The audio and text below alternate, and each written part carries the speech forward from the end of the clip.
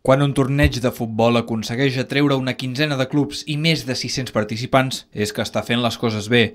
És el cas del torneig de futbol base organitzat pel Club de Futbol Les Preses. Va néixer fa 8 anys amb la idea que tots els seus equips poguessin celebrar el final de temporada, però ha acabat sent un esdeveniment de referència per clubs de tota la demarcació i de més enllà per celebrar la cluenda de l'any. És un torneig que és la vuitena edició que fem i sempre hem intentat doncs, que tots els equips que participen, a, que són del club, tinguin el seu tos de torneig i participen en un cap de setmana amb totes les categories. I és com una cluenda de temporada i volem doncs, que cada equip, cada categoria tingui el seu espai doncs, dins, dins en aquest torneig. No? El torneig no ha perdut el seu component festiu, però amb el seu creixement, clubs de referència com l'Olot, el Figueres o el Girona confirmen anualment la seva assistència perquè l'organització és bona i el nivell de futbol també.